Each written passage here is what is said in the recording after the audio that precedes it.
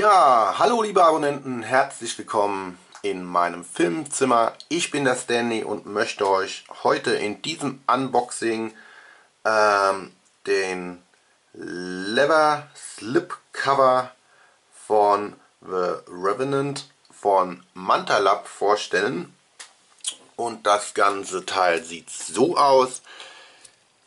Äh, hat schon ein paar Monate auf dem Buckel ähm, ich habe das gute Stück damals beim Cinemanuel auch im Unboxing gesehen und ich persönlich stehe auf solche, ich nenne es jetzt mal Ledereditionen. Allerdings war der Preis jetzt äh, meistens bei 70, 80, 90 Euro bei eBay.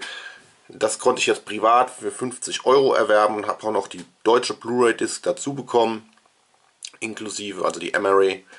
Ja, das Ganze kommt hier in einem nicht nur Leder-Optik, Full Slip. Das Ganze ist geprägt, ist auch Leder, Kunstleder, was auch immer. Es riecht auch danach.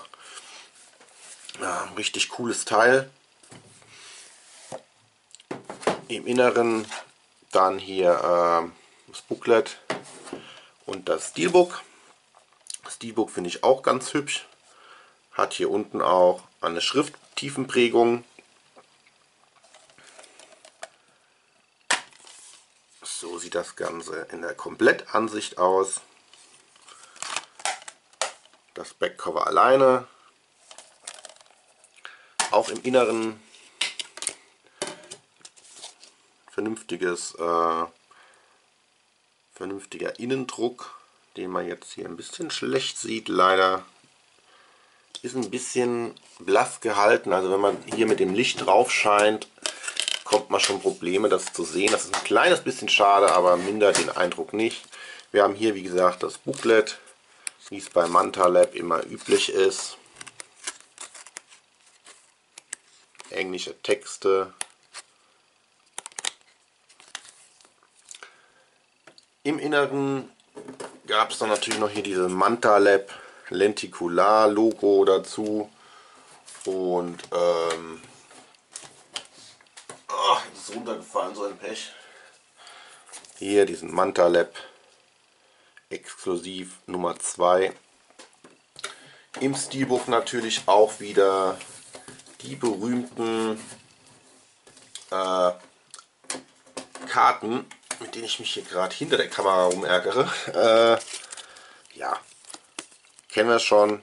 Hier bei Manta Lab jetzt allerdings äh, in Hochglanz gehalten, nicht so pappemäßig wie bei Filmarena hat auch eine glatte Beschichtung hier, diese Karten. Dafür haben wir dann hier wieder bei den Art Cards, wie ich das so schön nenne, die Pappe.